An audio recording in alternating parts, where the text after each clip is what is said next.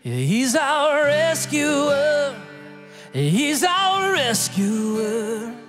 And we are free from sin forevermore. And oh, how sweet the sound. And oh, how grace abound. Yeah, we will praise the Lord, our rescuer. Yeah, we will praise the Lord, our rescuer. There's good news captain. There is good news for the shame. There is good news for the one who walked away. There's good news for the doubter, the one religion failed. For the good Lord has come to seek and save. And He's our rescuer. Yeah, He's our rescuer. We are free from sin forevermore. And oh, how sweet the sound. And oh, how grace abound. We will praise the Lord, our rescuer. He is beauty for the blind man. He is riches for the poor. He is friendship for the one the world ignores. Is passion for the weary and rest for those who strive. Oh, the good Lord is the way, the truth, the life. Yeah, the good Lord is the way, the truth, the life. And He's our rescuer. Yeah, He's our rescuer. And we are free from sin forevermore. Sweet the sound. And oh, how grace abounds. And we will praise the Lord, our rescuer. So come and be chainless. You come and be fearless. You come to the foot of Calvary. Cause there is redemption for every affliction. You're at the foot of Calvary. So come and be chainless. Come and be fearless.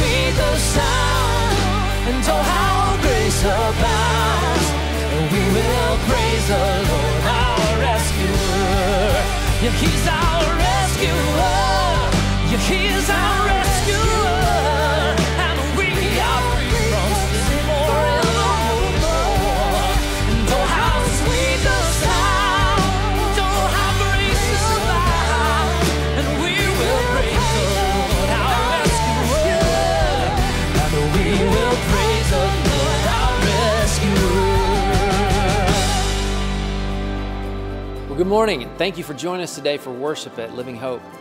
If you're new to our church, we want to say welcome to you, and we're so glad that you're here, and we invite you to go to lhguest.com and let us know how we can connect with you.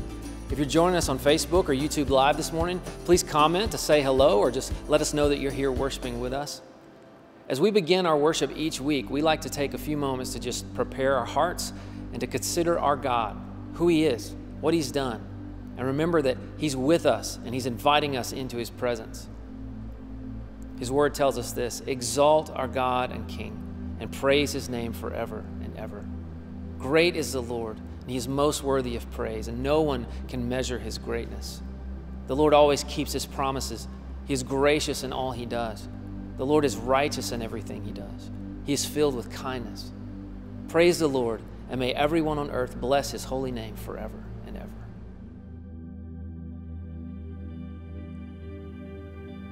Praise God from whom all blessings flow. And praise Him, all creatures here below. and praise him above, ye heavenly hosts. Praise Father, Son, and Holy Ghost.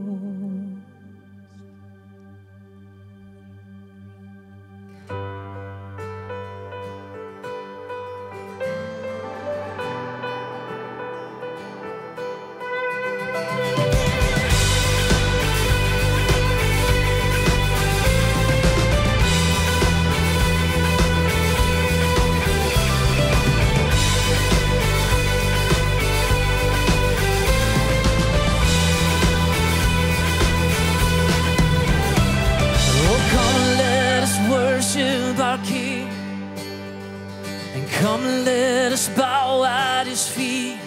He has done great things. And see what our Savior has done. And see how his love overcomes. He has done great things. He has done great things. Oh, of heaven, you conquer the grave. You free every captive and break every chain. Oh, God, you have done great things. We dance in your freedom, awake and alive. Oh, Jesus, our Savior, your name lifted high.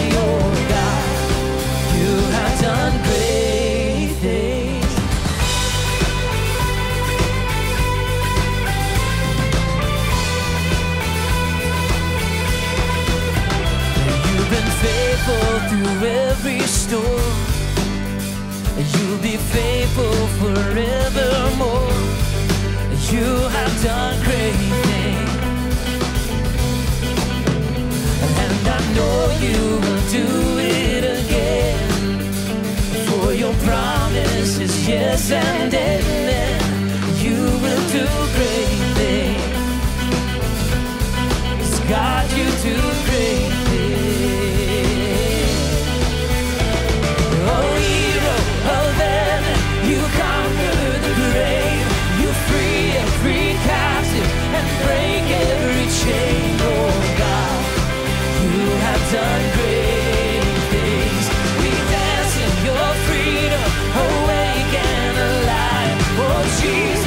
Savior,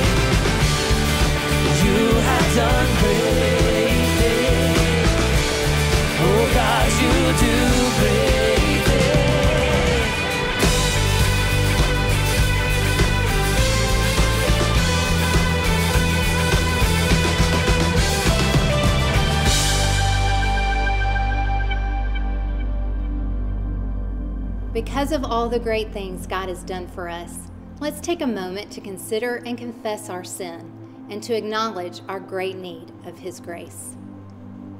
Glorious Creator God, as we are reminded of your power and majesty, we are humbled by our sin. We confess our self reliance and the ways we try to heal our brokenness through our own efforts. We confess all the ways we try to control our own lives and our constant striving to build kingdoms for ourselves.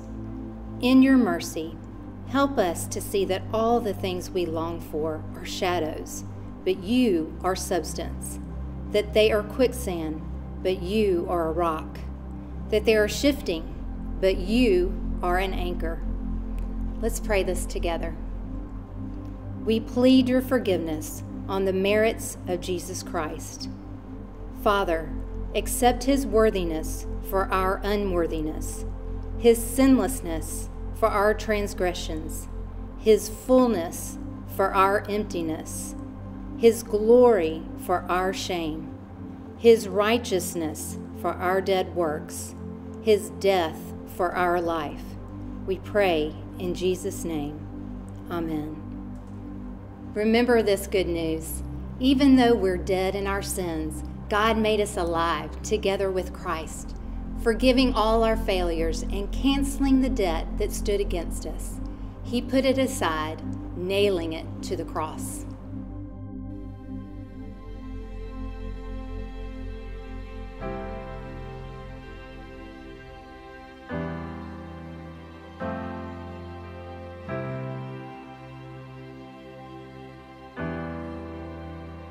I cast my mind to Calvary,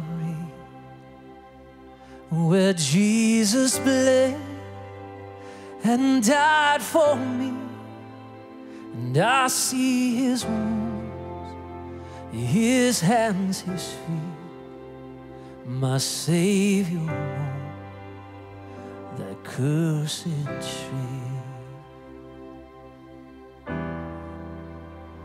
his body bound drenched in tears.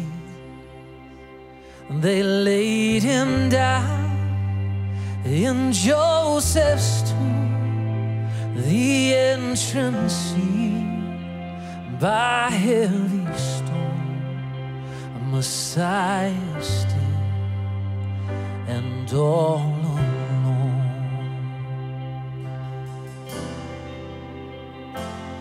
Oh, praise the name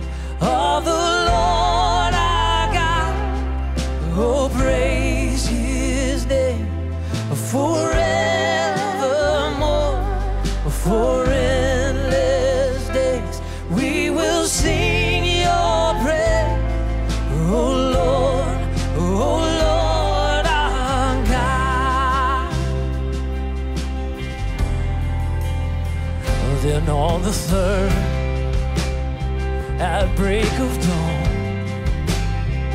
the Son of Heaven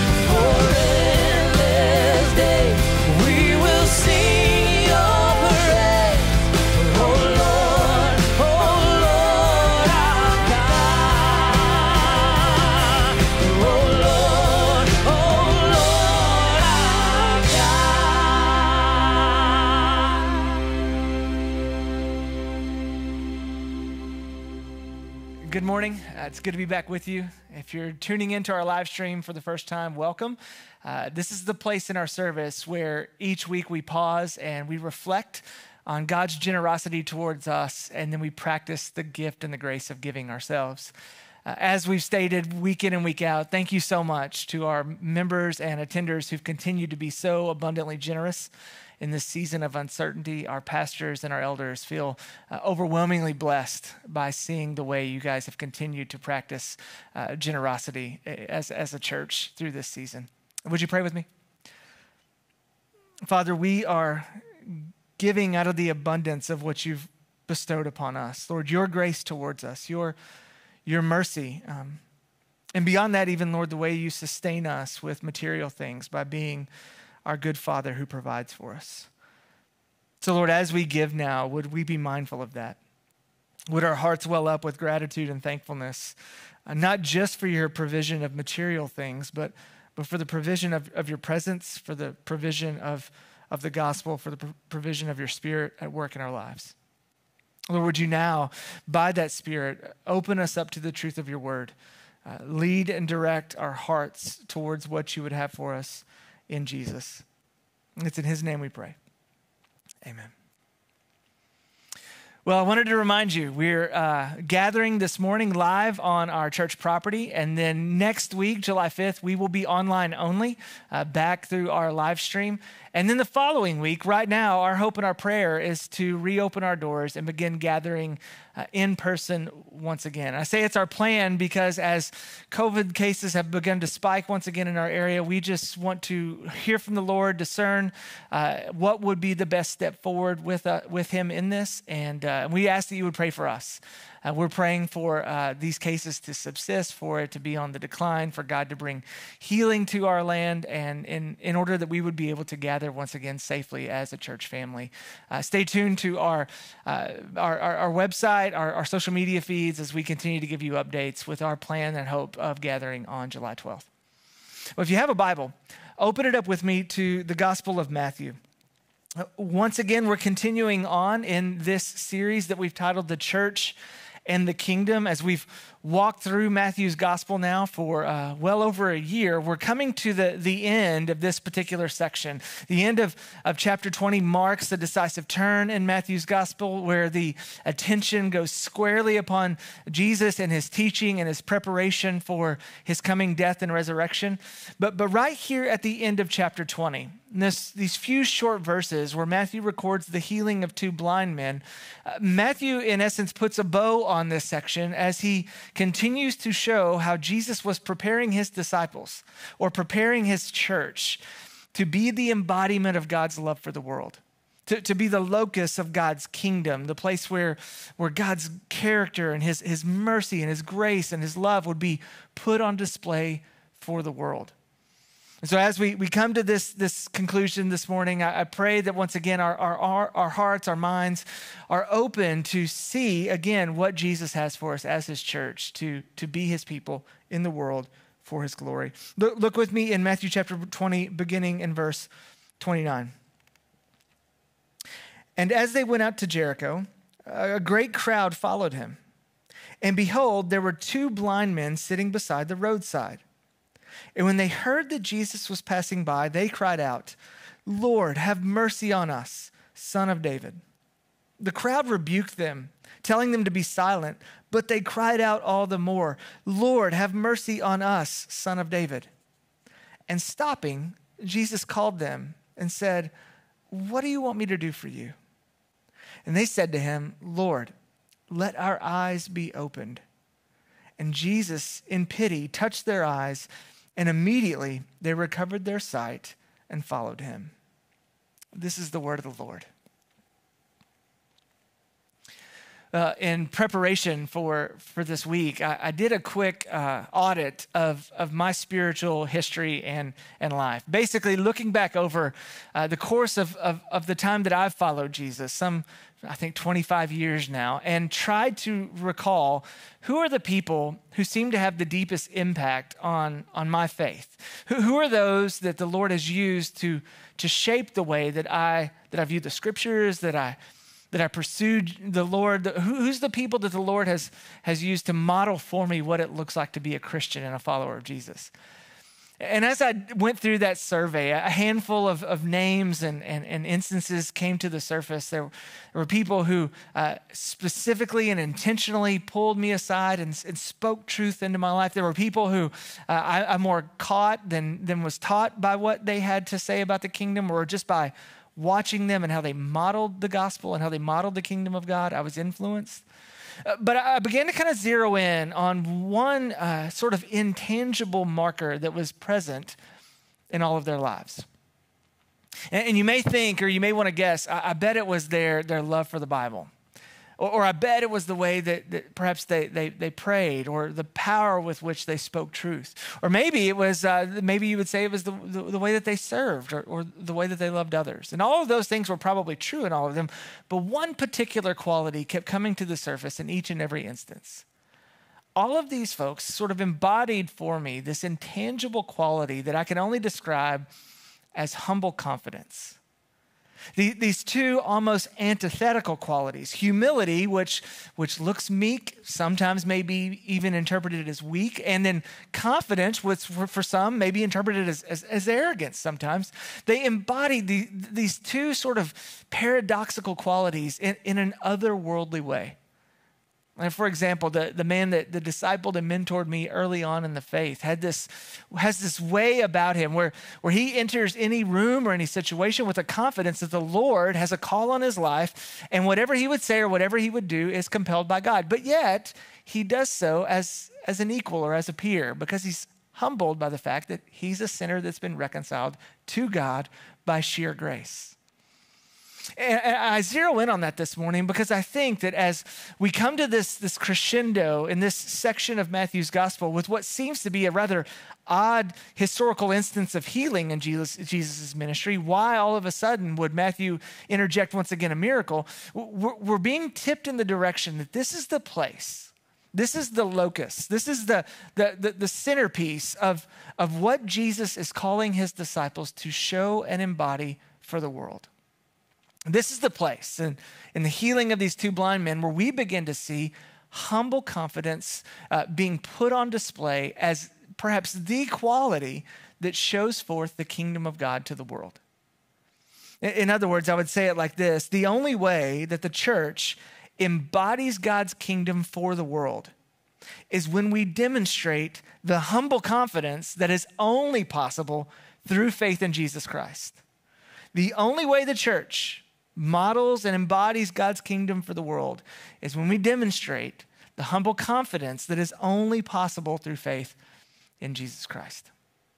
Now, let, let, me show you where I get that. If you look back in, in verses 29 through 31, you're going to begin to see a stark contrast of postures and positions as it relates to people following Jesus. And, and, and Matthew intends to show us it could be this or it could be that. Let me show you what I mean. In, in verse 20, uh, 29, as they went out of Jericho, a great crowd followed him.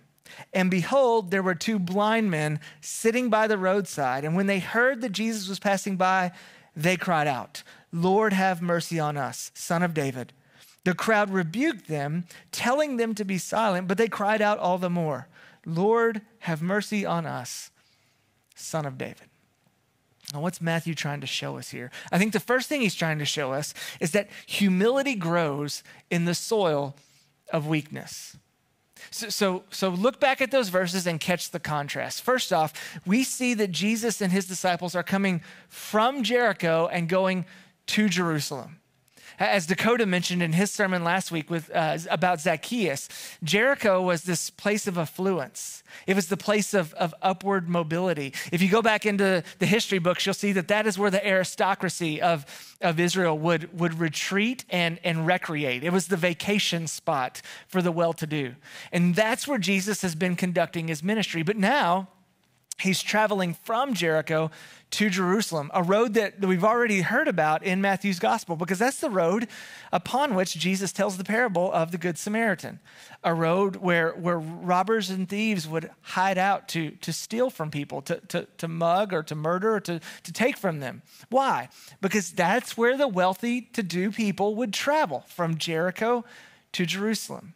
It's as if he's saying, here, uh, Jesus and his disciples were headed from Wall Street down to Washington, D.C. They're going from the place of wealth and prominence to the place of political power and prestige. And there's a crowd that's following Jesus. He's got an audience. The, the, there's strength in his numbers. He's starting to get some, some grassroots street cred. There are people who are going after him. Why? Because they fundamentally misunderstand who he is and what he's doing. They think that he's the guy who's come to get the, the wealthy, well to do folks out of Jericho and take them to Jerusalem to start a revolution. He's going to be their new political leader. He's going to be the one who's going to rescue Israel from the hands of the Romans. He's going to reestablish God's kingdom. And that's why he's all of a sudden got a crowd going with him. But yet, Matthew says the crowd who are, who, who are respectable, who, uh, who have a good reputation, they begin to speak out against these ir- irreputable men who are crying out, Lord Jesus, son of David, have mercy on us. What Matthew's trying to show us here is that it's the blind men's weakness that actually is going to help them come to Jesus. Or maybe another way to say it is it's a great irony. Here, it's the blind who see, and yet those who, who, have, who have working eyes, who have vision, fail to see who Jesus really is. It's the contrast of uh, uh, of the idea that strength, as we think of it, power, as we've been talking about it, prestige and ambition, all of the stuff that's causing the crowds to come after Jesus, those are the folks who are actually blind. And the blind beggars are the ones who actually see. You see, it's their weakness that makes them an object of Jesus' grace and attention. It's their knowledge of their weakness that puts them in this humble posture whereby they can receive from Jesus a miracle. So here's what this makes me think it, causes us to consider a few things. First off, if, if humility is the only prerequisite to following Jesus, and it is, if all you need to be a follower of Jesus is to recognize how needy you are, and that, that's the case, and and if weakness is the entry point into, uh, into the, the way that God's grace comes flooding into our lives, then here's the question we have to ask Why are we so reluctant to admit our need? Why, why are we like the crowd here, so, uh, so caught up with power and, and prestige and, and posturing and jockeying for a position and finding someone who will vindicate us and, and, and rule in the way that we would want them to rule, honoring our preferences and our allegiances? Why are we so unwilling to admit our need? Or perhaps we could ask it this way Why do we work so hard? To cover over our, our weakness and, and, and our shame with, with our power or with our gifts or with our intelligence. You see, what Matthew's trying to show us here for followers of Jesus, for the church to be the church and to model God's kingdom to the world, we're, we're going to have, have to cease covering over our, our weaknesses and instead begin confessing them. That's the posture of a disciple of Jesus. You don't cover your weaknesses, you confess them.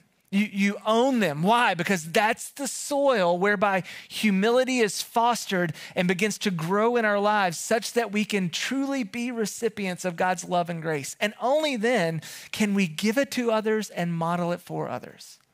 Only when we own our weakness can, can the soil that is needed to be tilled in order for our hearts to bear the fruit of humility, only then, only then can we be the people of God for the world. And so it causes us to ask a few other questions. Why do we so readily trust in our own strength? Why are we so eager to, to dismiss our weakness and yet, and yet attempt to, to, to, to cover ourselves with, with our gifts or with our talents or with our accrual of wealth or power? Why, why is our last resort always to own our own weaknesses? Well, if I get real honest with myself, and if I really press in there, I, I, think that at the end of the day, what I, I, what I'm really looking for is much like what the crowds are looking for here. I, am looking more for respected, respectability than I am for renewal. the crowd here cries out against these men who are, who are calling uh, upon Jesus. They say, Stop yelling. You're, you're, making a fool of yourself. You're embarrassing yourself. Why would, you, why would you put yourself out there like that? Why would you be so vulnerable about your need and about your weakness? Shut up. Why? Because the higher value is respectability.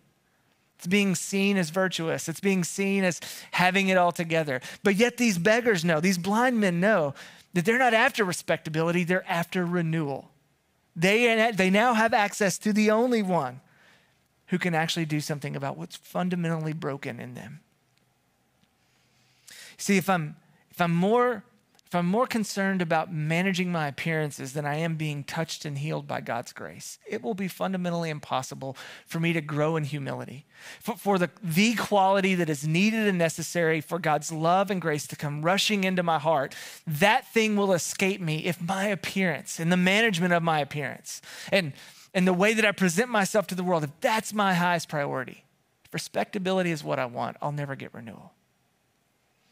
If the church is going to be the embodiment of the kingdom of God for the world, we must begin to see humility as our paragon virtue. This is what we must aspire to. This is what we run after. And it's only fostered when we can admit and own our weakness. Secondly, we begin to see from this that confidence is the fruit of faith. That true faith in, in Jesus results in a, in a confidence, not an arrogance, but, but a, an assurance that Jesus is who he says he is and will do what he came to do. Because only, only true need can exercise true faith. True, true faith is the result of truly owning our weakness, truly recognizing our neediness. And when we see our blindness, when we own our blindness, it's then that our faith gets real because it connects our need to His supply, our weakness to His power, our inability to, to His transformability. And those two things collide, and then confidence is the fruit that is born.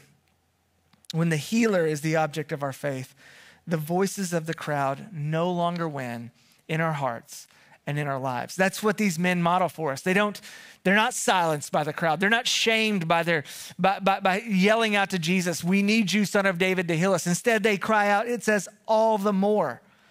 They go above and beyond. Why? Because they're looking at the object of true faith.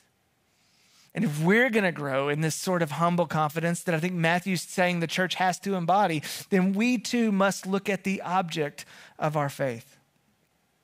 See, that's what Jesus teaches here. He says in, in verse 32, Jesus stops and he calls them. He says, What do you want me to do for you? And it seems like a really bizarre question because, after all, these are two blind men. It should be painfully obvious what it is that, that they want him to do for them. They need to be healed, they need to be able to see. But I think Jesus is asking the question to, to differentiate between these two men and the crowds.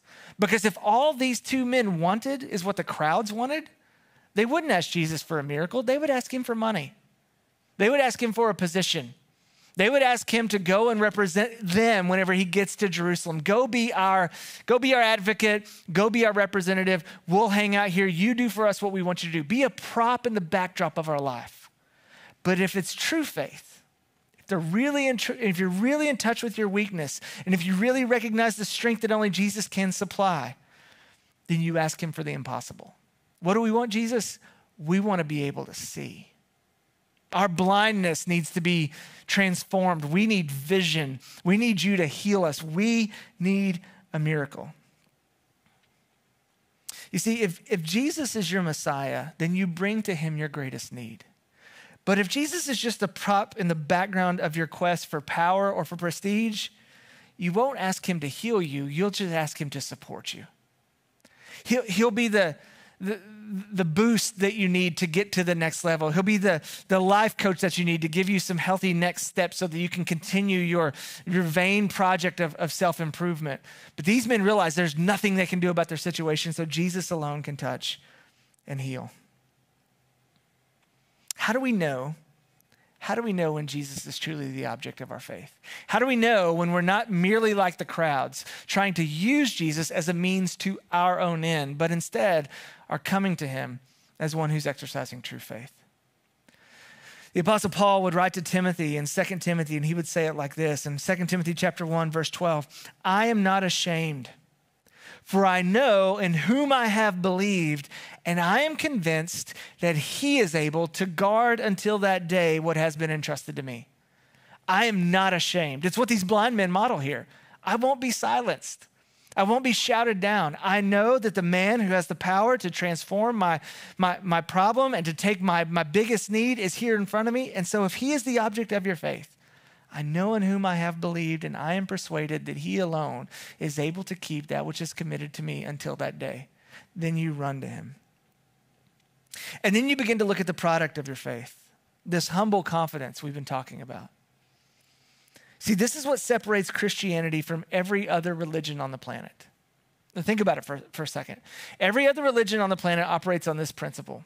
You do particular things. You, um, you say certain statements. You posture yourself in a particular way before the deity. The deity gives you some type of behavior modification or uh, standard, some law you have to follow. And if you follow those things accordingly, then you are accepted or approved or loved by the deity. That's the basic principle of virtually every religion on the planet. But the end result of that is can either be humility or or confidence, but it can't be both. It's either delusion, I, have done it all, uh, or despair, I can never do enough. But you can't hold together these these paradoxical qualities of humble confidence. It's impossible. Why?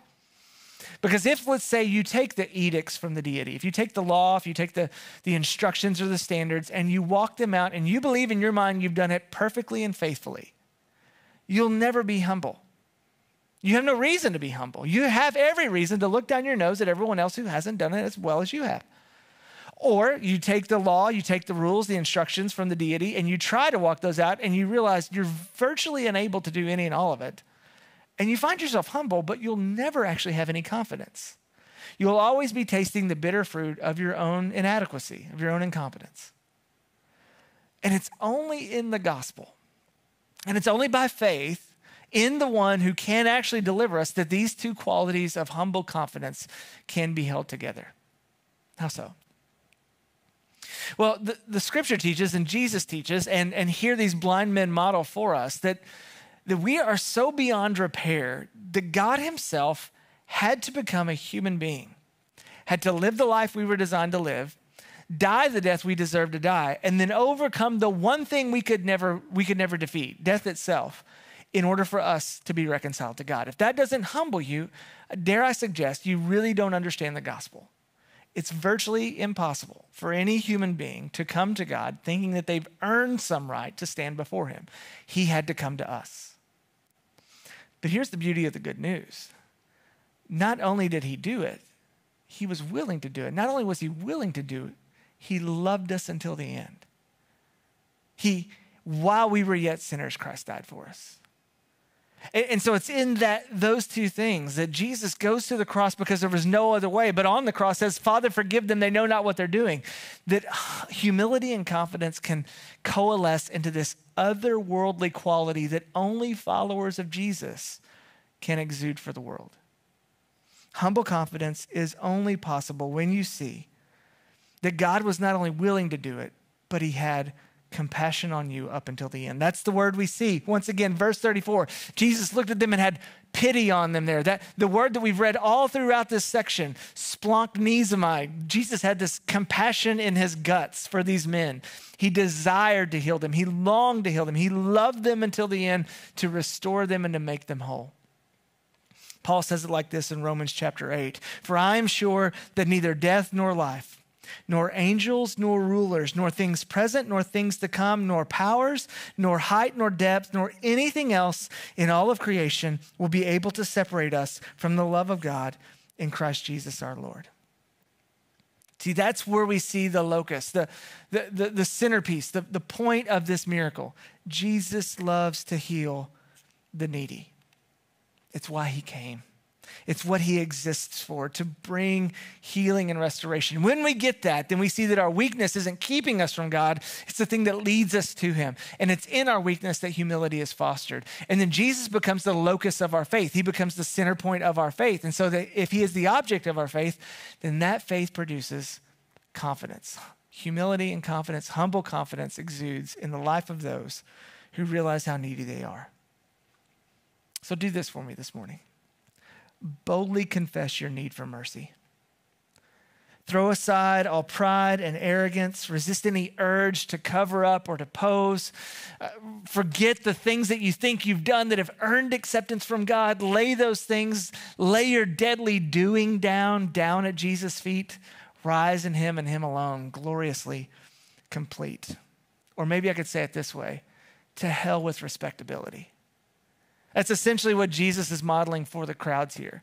That will get you nowhere other than outside the kingdom of God. Respectability is for the birds. Throw yourself on the mercy of God today. It's your only hope. And then, secondly, humbly believe in the, in the power of Jesus to work miracles. Let him be the object of your faith.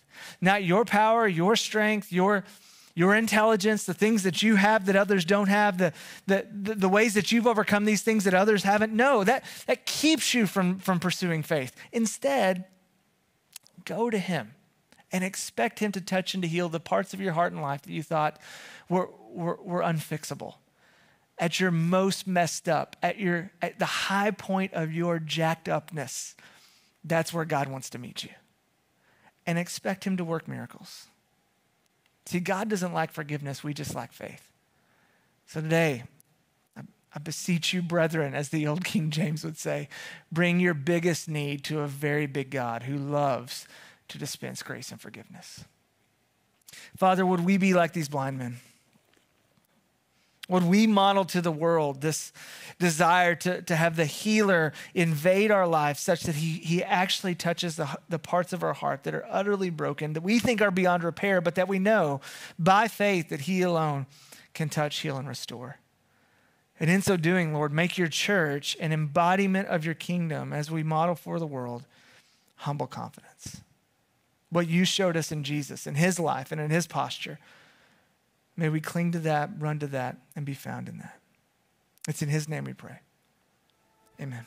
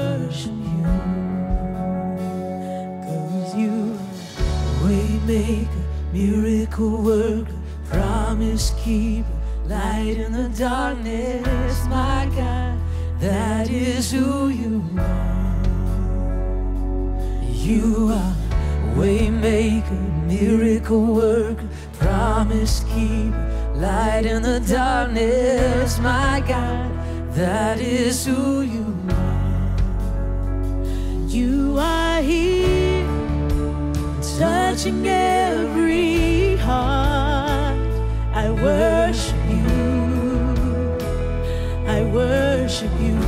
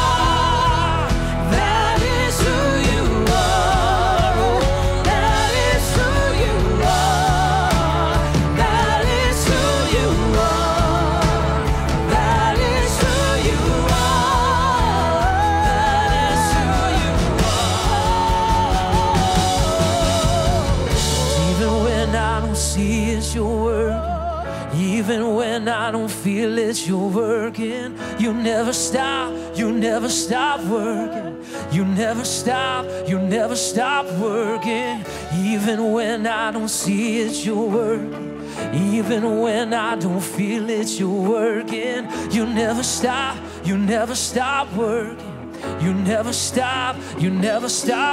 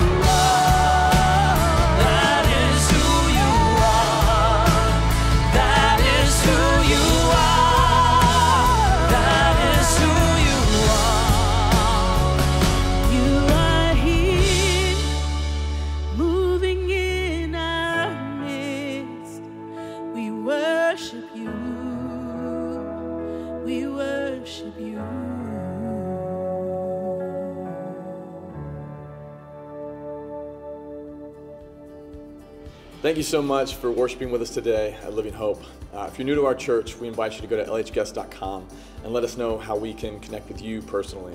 Uh, and if you want to find out more information about our church, or maybe you have a need or a prayer request that we need to know about, uh, please make sure that you go to our website at lhchurch.com. And uh, also be sure to follow us on social media at LH Church Memphis uh, for our latest updates. Uh, we also want to take some time and just remind you that we are still planning and looking forward to our first in person service inside our building here on July 12th. We've really missed you guys uh, completely and hope that you can join us for that particular day. But uh, if you're not able to join us in person, we will continue to live stream our services for those who can't physically gather. Uh, We'll be sending out more details about that in the days ahead, but be sure to sign up uh, for our emails at the bottom of our homepage, lhchurch.com. Thank you again for joining us today, and we hope that you have a great week, and we look forward to seeing you next Sunday.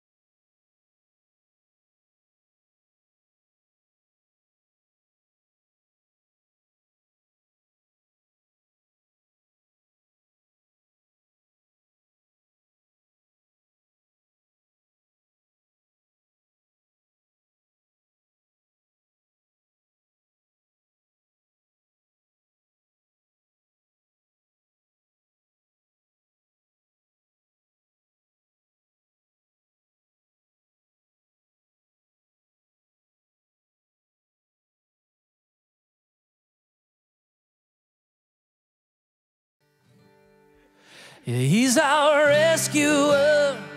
He's our rescuer. And we are free from sin forevermore. And oh, how sweet the sound. And oh, how grace abound. Yeah, we will praise the Lord, our rescuer. Yeah, we will praise the Lord, our rescuer. There's good news for the captain. There is good news for the shame. There is good news for the one who walked away. There's good news for the doubter, the one religion failed. For the good Lord has come to seek and save. And He's our rescuer. Yeah, He's our rescuer. We are free from sin forevermore. And oh, how sweet the sound. And oh, how grace abound. We will praise the Lord, our rescuer. He is beauty for the blind man. He is riches for the poor. He is friendship for the one the world ignores. Is passion for the weary and rest for those who strive. Oh, the good Lord is the way, the truth, the life. Yeah, the good Lord is the way, the truth, the life. And He's our rescuer. Yeah, He's our rescuer. And we are free from sin forevermore. Sweet the sound. And oh, how grace abounds. And we will praise the Lord, our rescuer. So come and be chainless. You come and be fearless. You come to the foot of Calvary. Cause there is redemption for every affliction. You're at the foot of Calvary. So come and be chainless.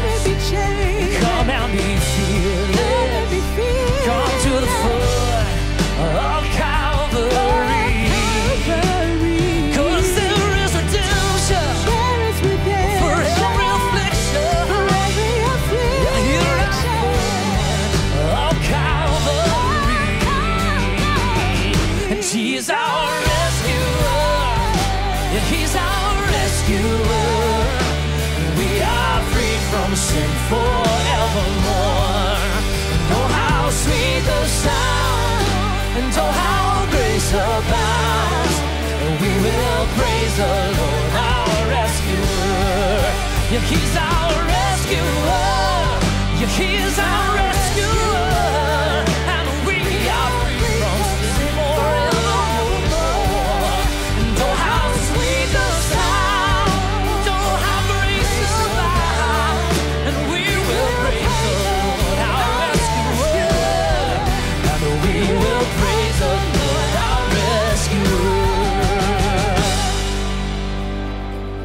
morning, and thank you for joining us today for worship at Living Hope.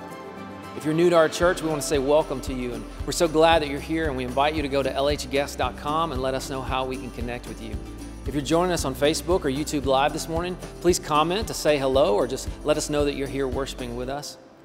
As we begin our worship each week, we like to take a few moments to just prepare our hearts and to consider our God, who He is, what He's done, and remember that He's with us and He's inviting us into His presence.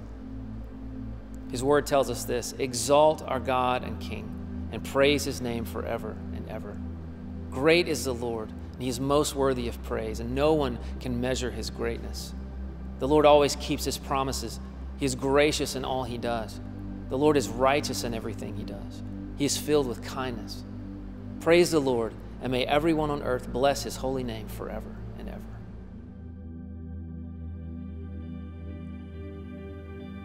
Praise God from whom all blessings flow. And praise Him, all creatures here below. And praise him above, ye heavenly hosts. Praise Father, Son, and Holy Ghost.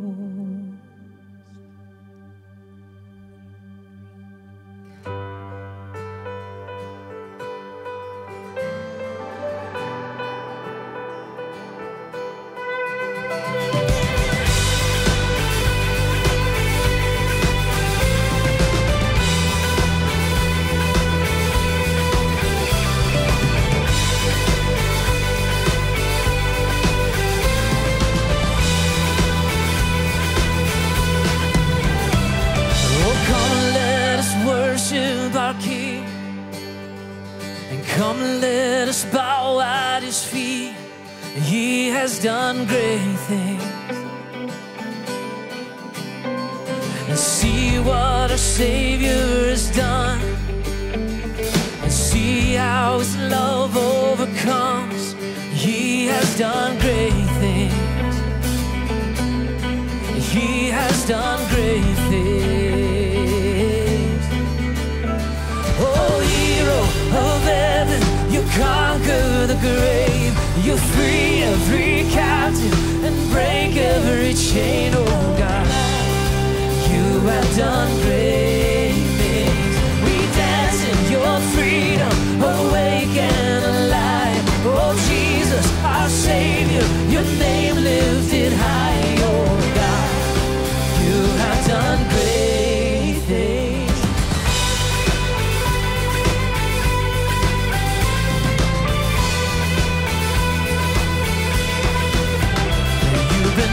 Faithful through every storm. You'll be faithful forevermore. You have done great things.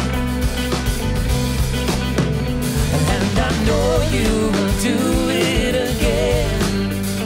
For your promise is yes and amen. You will do great things. God, you do great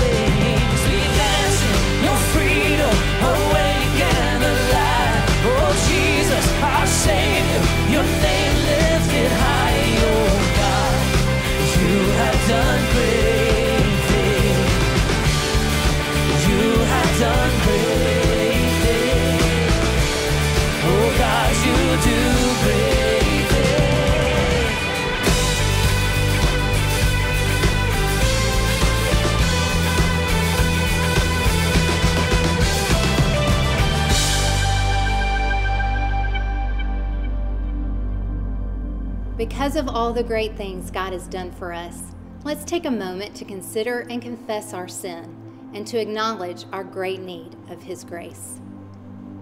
Glorious Creator God, as we are reminded of your power and majesty, we are humbled by our sin. We confess our self reliance and the ways we try to heal our brokenness through our own efforts. We confess all the ways we try to control our own lives and our constant striving to build kingdoms for ourselves. In your mercy, help us to see that all the things we long for are shadows, but you are substance, that they are quicksand, but you are a rock, that they are shifting, but you are an anchor. Let's pray this together. We plead your forgiveness on the merits of Jesus Christ. Father, accept his worthiness for our unworthiness, his sinlessness for our transgressions, his fullness for our emptiness, his glory for our shame, his righteousness for our dead works, his death for our life. We pray in Jesus' name. Amen. Remember this good news. Even though we're dead in our sins, God made us alive together with Christ, forgiving all our failures and canceling the debt that stood against us. He put it aside, nailing it to the cross.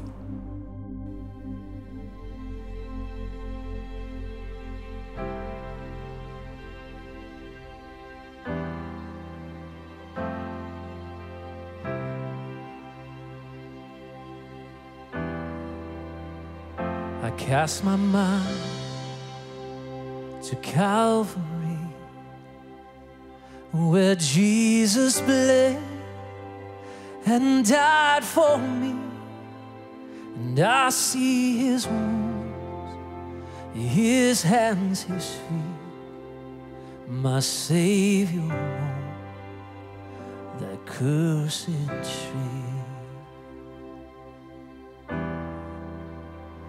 his body bound drenched in tears.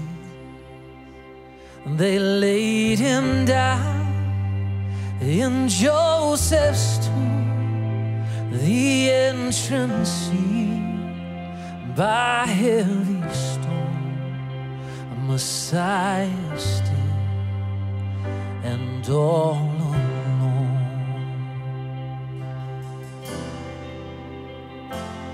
Oh, praise the name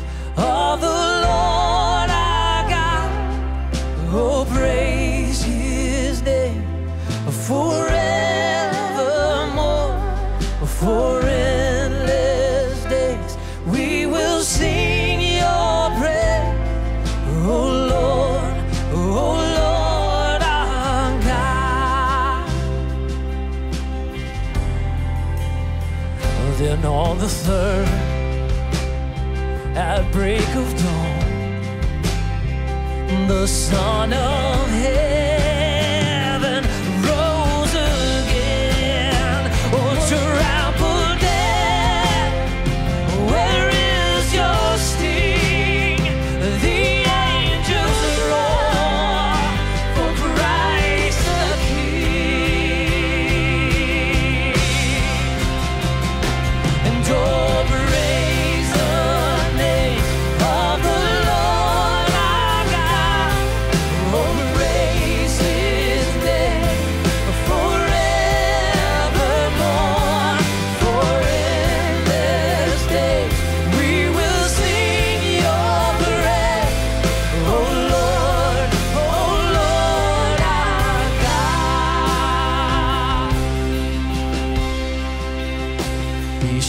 return in robes of white, and the blazing sun shall pierce the night, and I will rise among the saints, my gaze transfixed on Jesus'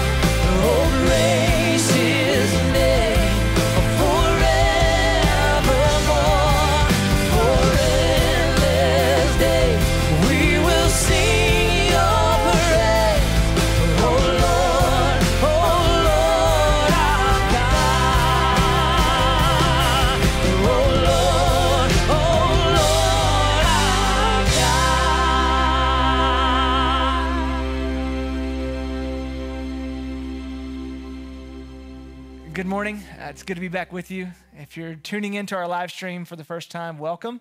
Uh, this is the place in our service where each week we pause and we reflect on God's generosity towards us, and then we practice the gift and the grace of giving ourselves.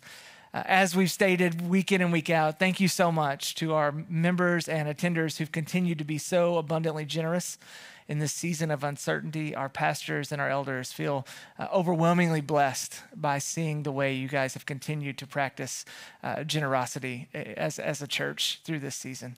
Would you pray with me?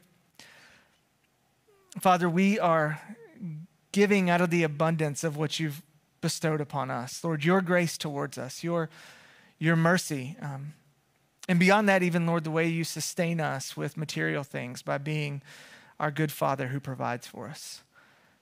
So, Lord, as we give now, would we be mindful of that?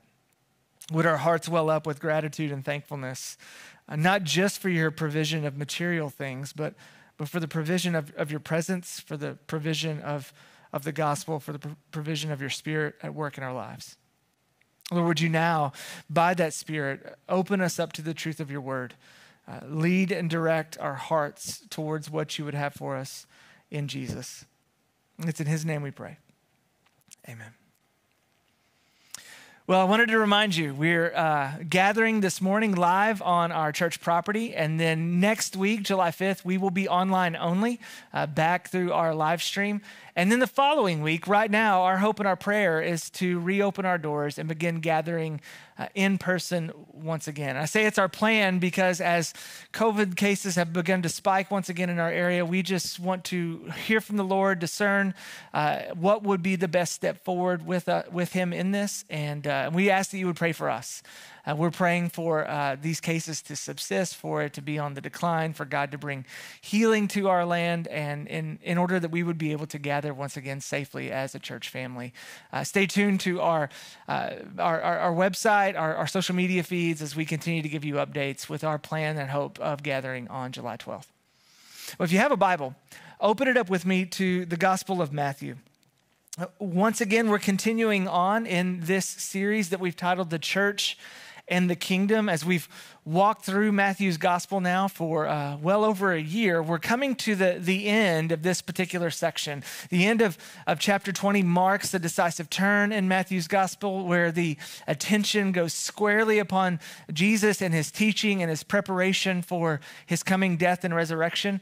But, but right here at the end of chapter 20, this, these few short verses where Matthew records the healing of two blind men, uh, Matthew, in essence, puts a bow on this section as he continues to show how Jesus was preparing his disciples or preparing his church to be the embodiment of God's love for the world.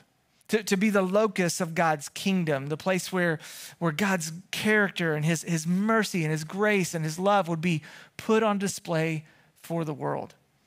And so, as we, we come to this, this conclusion this morning, I, I pray that once again our, our, our, our, hearts, our minds are open to see again what Jesus has for us as his church, to, to be his people in the world for his glory. Look, look with me in Matthew chapter 20, beginning in verse 29. And as they went out to Jericho, a great crowd followed him. And behold, there were two blind men sitting beside the roadside. And when they heard that Jesus was passing by, they cried out, Lord, have mercy on us, son of David. The crowd rebuked them, telling them to be silent, but they cried out all the more, Lord, have mercy on us, son of David. And stopping, Jesus called them and said, What do you want me to do for you? And they said to him, Lord, let our eyes be opened. And Jesus, in pity, touched their eyes and immediately they recovered their sight and followed him. This is the word of the Lord. Uh, in preparation for, for this week, I, I did a quick uh, audit of, of my spiritual history and, and life. Basically, looking back over uh, the course of, of, of the time that I've followed Jesus, some I think 25 years now, and tried to recall who are the people who seem to have the deepest impact on, on my faith? Who, who are those that the Lord has used to, to shape the way that I, that I view the scriptures, that I, that I pursued the Lord? Who, who's the people that the Lord has, has used to model for me what it looks like to be a Christian and a follower of Jesus? And as I went through that survey, a handful of, of names and, and, and instances came to the surface. There, were people who uh, specifically and intentionally pulled me aside and, and, spoke truth into my life. There were people who uh, I, I more caught than, than was taught by what they had to say about the kingdom or just by watching them and how they modeled the gospel and how they modeled the kingdom of God. I was influenced. But I began to kind of zero in on one uh, sort of intangible marker that was present in all of their lives. And, and you may think, or you may want to guess, I, I bet it was their, their love for the Bible.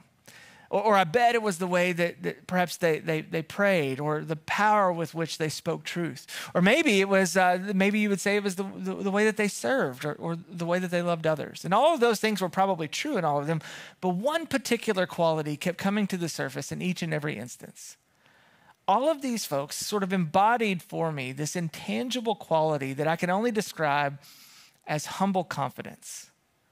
These two almost antithetical qualities humility, which, which looks meek, sometimes may be even interpreted as weak, and then confidence, which for some may be interpreted as, as, as arrogance sometimes.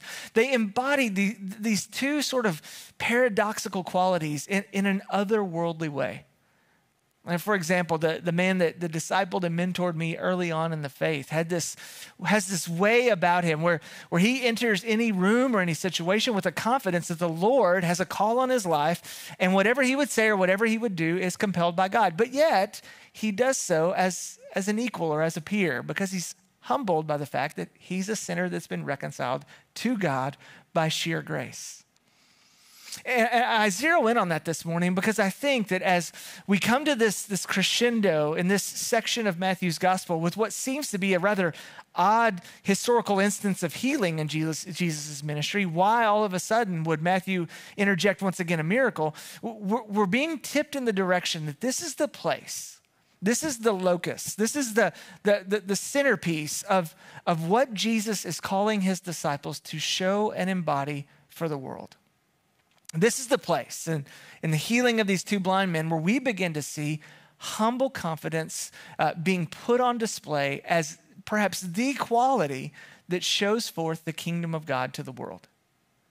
In other words, I would say it like this the only way that the church embodies God's kingdom for the world is when we demonstrate the humble confidence that is only possible through faith in Jesus Christ. The only way the church models and embodies God's kingdom for the world is when we demonstrate the humble confidence that is only possible through faith in Jesus Christ.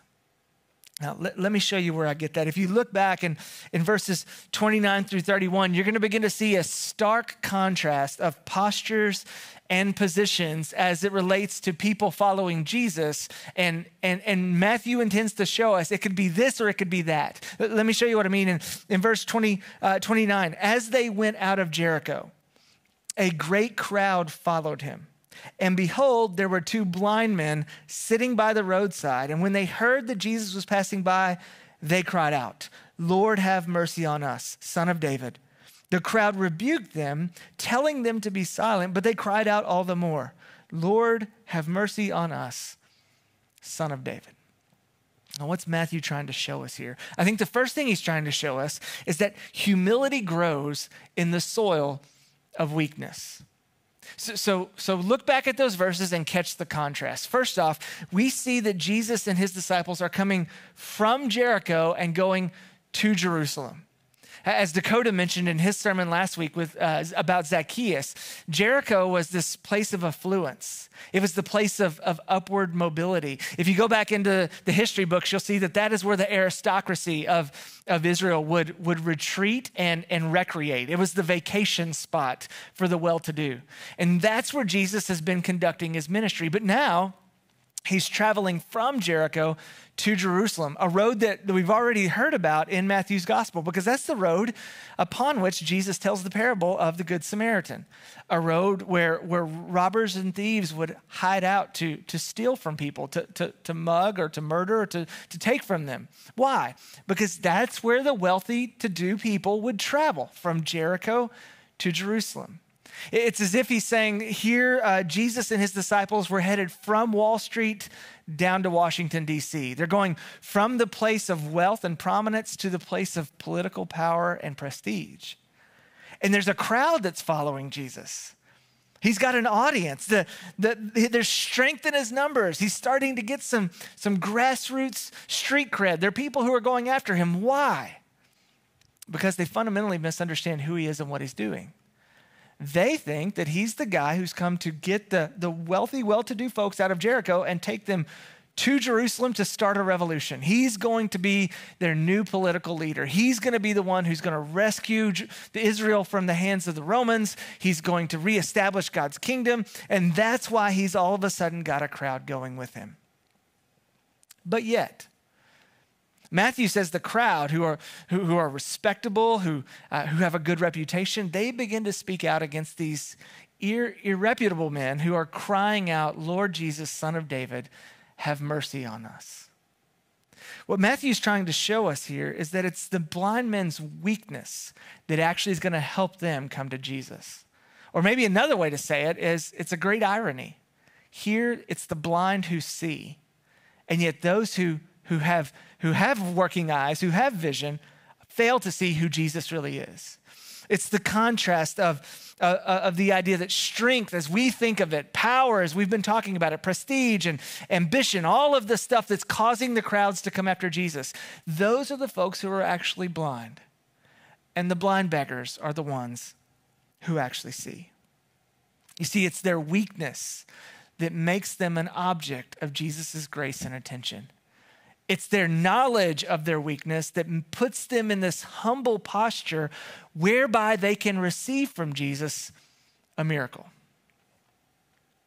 So here's what this makes me think it, causes us to consider a few things. First off, if, if humility is the only prerequisite to following Jesus, and it is, if all you need to be a follower of Jesus is to recognize how needy you are, and that, that's the case, and and if weakness is the entry point into, uh, into the, the way that God's grace comes flooding into our lives, then here's the question we have to ask Why are we so reluctant to admit our need?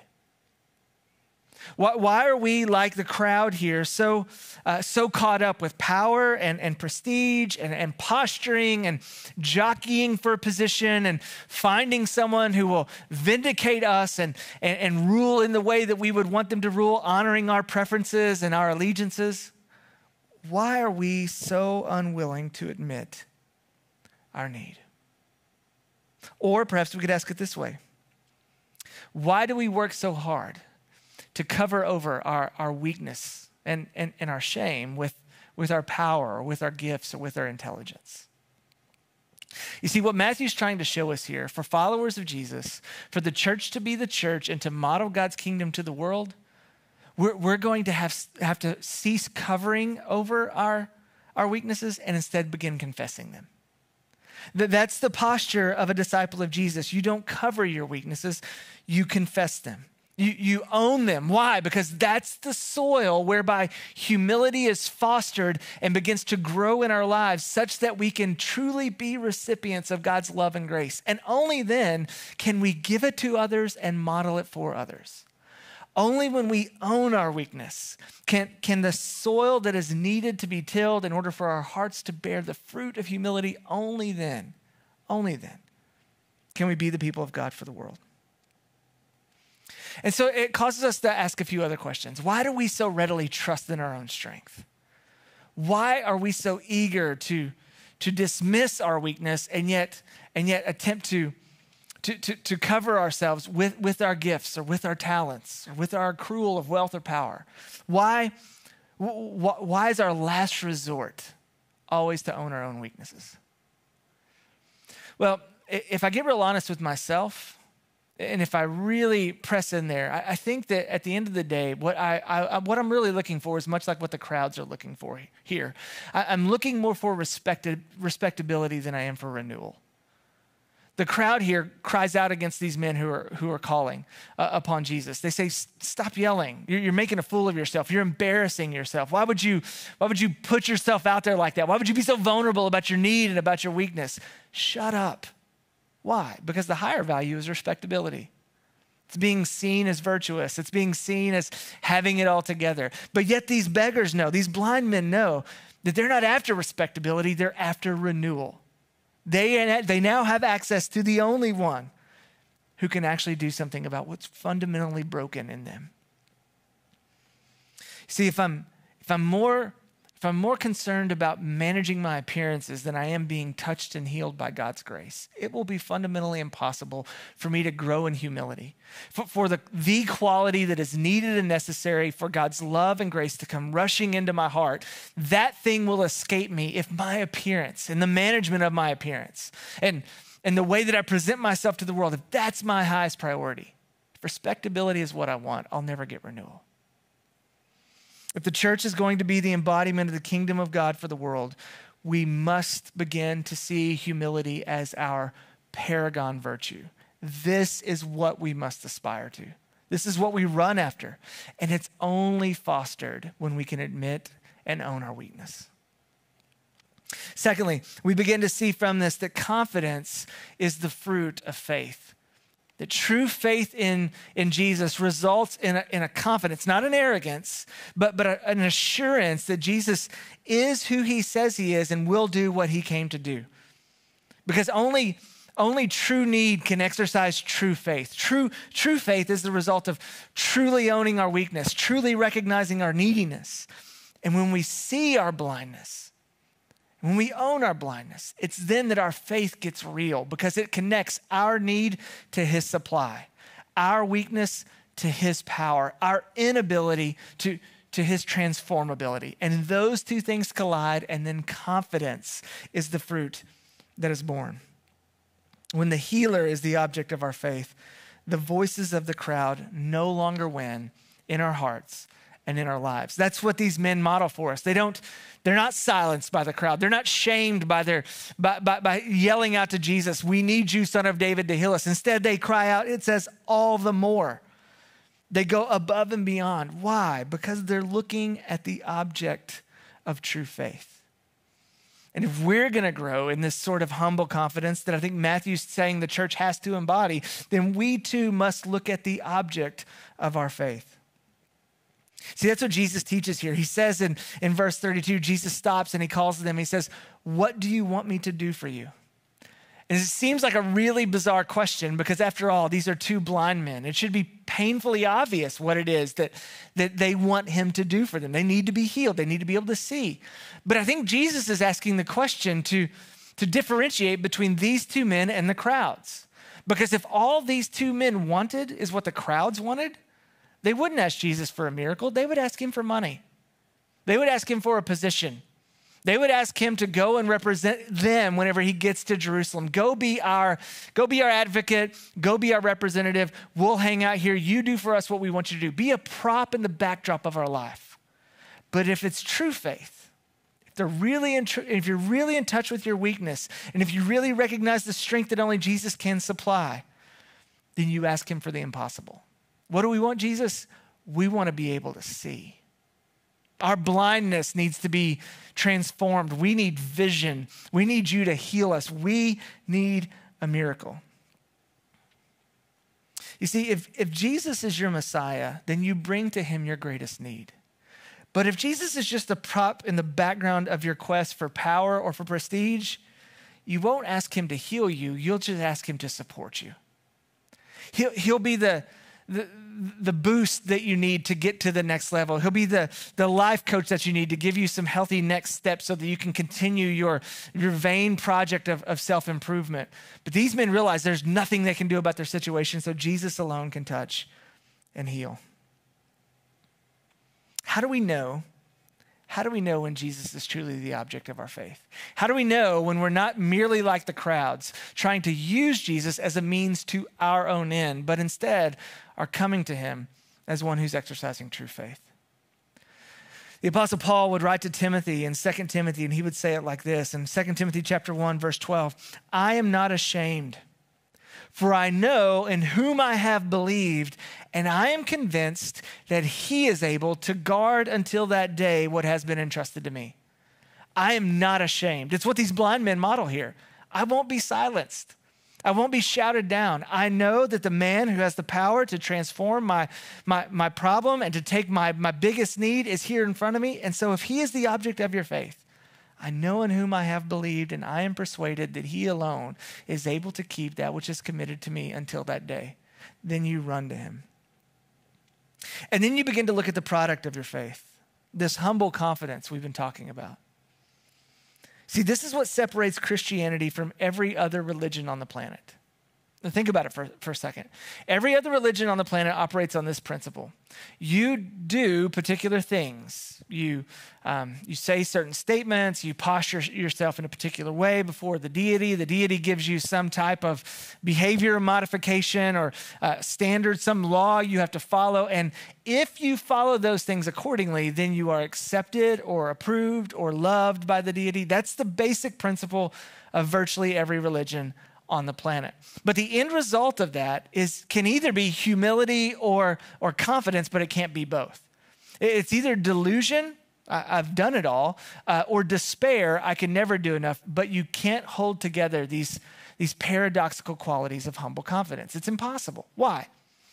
Because if, let's say, you take the edicts from the deity, if you take the law, if you take the, the instructions or the standards, and you walk them out, and you believe in your mind you've done it perfectly and faithfully, you'll never be humble. You have no reason to be humble. You have every reason to look down your nose at everyone else who hasn't done it as well as you have. Or you take the law, you take the rules, the instructions from the deity, and you try to walk those out, and you realize you're virtually unable to do any and all of it. And you find yourself humble, but you'll never actually have any confidence. You'll always be tasting the bitter fruit of your own inadequacy, of your own incompetence. And it's only in the gospel and it's only by faith in the one who can actually deliver us that these two qualities of humble confidence can be held together. How so? Well, the, the scripture teaches and Jesus teaches, and, and here these blind men model for us that, that we are so beyond repair that God Himself had to become a human being, had to live the life we were designed to live, die the death we deserve to die, and then overcome the one thing we could never we could never defeat, death itself, in order for us to be reconciled to God. If that doesn't humble you, dare I suggest you really don't understand the gospel. It's virtually impossible for any human being to come to God thinking that they've earned some right to stand before him. He had to come to us. But here's the beauty of the good news. Not only did he do it, he was willing to do it. Not only was he willing to do it, he loved us until the end. He, while we were yet sinners, Christ died for us. And, and so it's in that those two things that Jesus goes to the cross because there was no other way. But on the cross says, Father, forgive them, they know not what they're doing. That humility and confidence can coalesce into this otherworldly quality that only followers of Jesus can exude for the world. Humble confidence is only possible when you see that God was not only willing to do it, but he had compassion on you up until the end. That's the word we see. Once again, verse 34. Jesus looked at them and had pity on them there. That the word that we've read all throughout this section, splanchnizomai. Jesus had this compassion in his guts for these men. He desired to heal them. He longed to heal them. He loved them until the end to restore them and to make them whole. Paul says it like this in Romans chapter 8 For I am sure that neither death nor life nor angels, nor rulers, nor things present, nor things to come, nor powers, nor height, nor depth, nor anything else in all of creation will be able to separate us from the love of God in Christ Jesus our Lord. See, that's where we see the locus, the, the, the, the centerpiece, the, the point of this miracle. Jesus loves to heal the needy. It's why he came. It's what he exists for, to bring healing and restoration. When we get that, then we see that our weakness isn't keeping us from God, it's the thing that leads us to him. And it's in our weakness that humility is fostered. And then Jesus becomes the locus of our faith, he becomes the center point of our faith. And so that if he is the object of our faith, then that faith produces confidence. Humility and confidence, humble confidence exudes in the life of those who realize how needy they are. So do this for me this morning.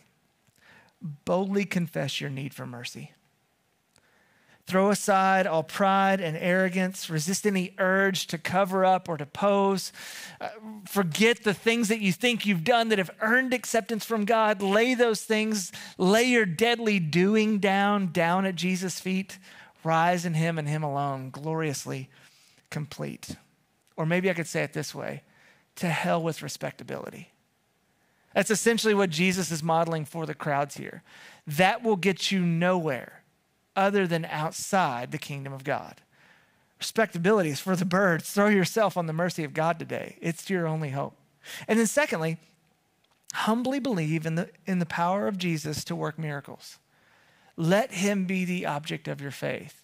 Not your power, your strength, your, your intelligence, the things that you have that others don't have, the, the, the, the, ways that you've overcome these things that others haven't. No, that, that keeps you from, from pursuing faith. Instead, Go to Him and expect Him to touch and to heal the parts of your heart and life that you thought were, were, were unfixable. At your most messed up, at, your, at the high point of your jacked upness, that's where God wants to meet you. And expect Him to work miracles. See, God doesn't like forgiveness, we just lack faith. So today, I beseech you, brethren, as the old King James would say, bring your biggest need to a very big God who loves to dispense grace and forgiveness. Father, would we be like these blind men? Would we model to the world this desire to, to have the healer invade our lives such that he, he actually touches the, the parts of our heart that are utterly broken, that we think are beyond repair, but that we know by faith that he alone can touch, heal, and restore? And in so doing, Lord, make your church an embodiment of your kingdom as we model for the world humble confidence. What you showed us in Jesus, in his life, and in his posture. May we cling to that, run to that, and be found in that. It's in his name we pray. Amen.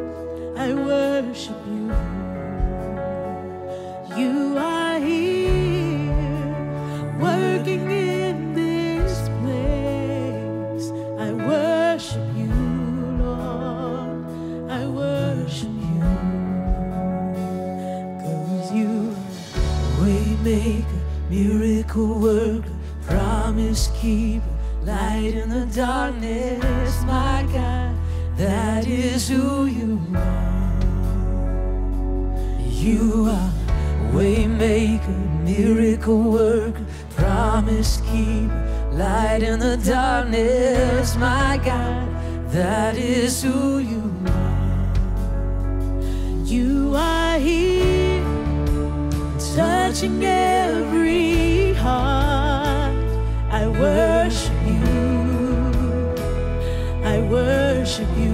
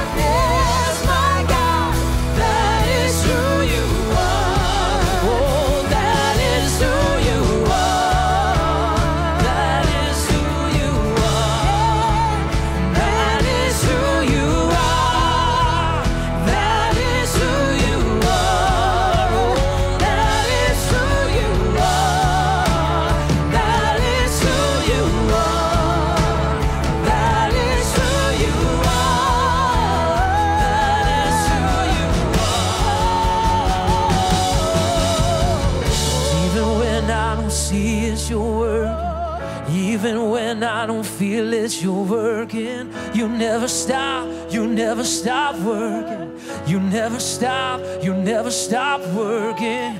Even when I don't see it, you're working. Even when I don't feel it, you're working. You never stop, you never stop working. You never stop, you never stop working. Even when I don't see it, you're working. Even when I don't feel it, you're working. You never stop, you never stop working. You never stop, you never stop working. Even when I don't see it, you're working. Even when I don't feel it, you're working. You never stop, you never stop working. You never stop, you never stop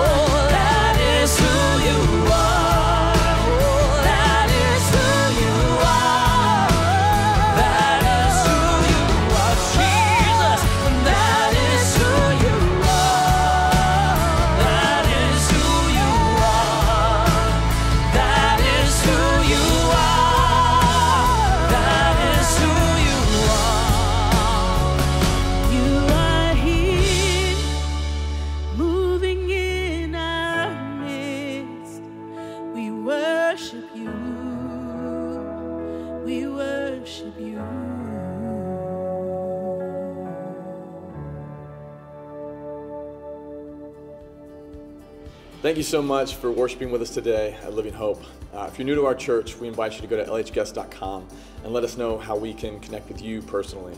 Uh, and if you want to find out more information about our church, or maybe you have a need or a prayer request that we need to know about, uh, please make sure that you go to our website at lhchurch.com. And uh, also be sure to follow us on social media at lhchurchmemphis uh, for our latest updates.